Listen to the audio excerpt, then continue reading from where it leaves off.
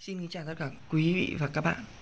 Ngay sau đây thì mình sẽ tổng hợp bảng tổng sắp huy chương SEA Games của toàn bộ các quốc gia Đông Nam Á tính từ năm 1959 thì đứng ở vị trí đầu tiên đó chính là Thái Lan với 2.345 huy chương vàng, 2.031 huy chương bạc, 2.096 huy chương đồng.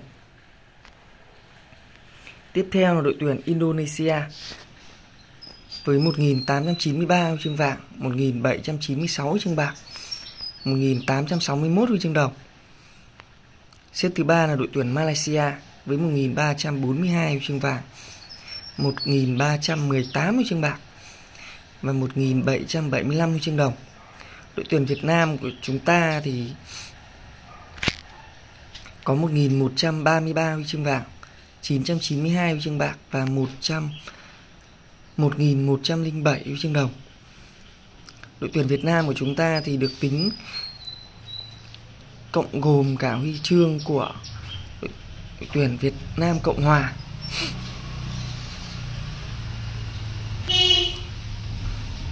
Đội tuyển Campuchia thì đến à, thời điểm năm 2021 qua 64 năm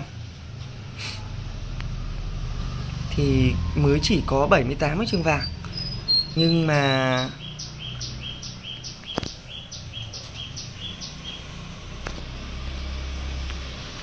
nhưng mà đến cái thời điểm hiện tại,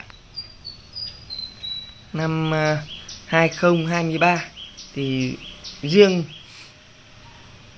cái mùa này thì đội tuyển Campuchia đã có 29 huy chương vàng 21 huy chương bạc và 19 huy chương đồng số huy chương vẫn còn tiếp tục tăng đội tuyển Việt Nam của chúng ta thì đến thời điểm này vẫn đang ở vị trí thứ tư với 15 huy chương vàng, 18 huy chương bạc và 27 huy chương đồng.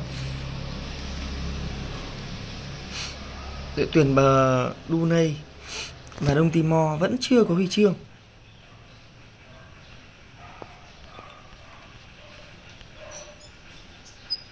Xin cảm ơn tất cả mọi người đã quan tâm theo dõi mọi người hãy ấn đăng ký kênh để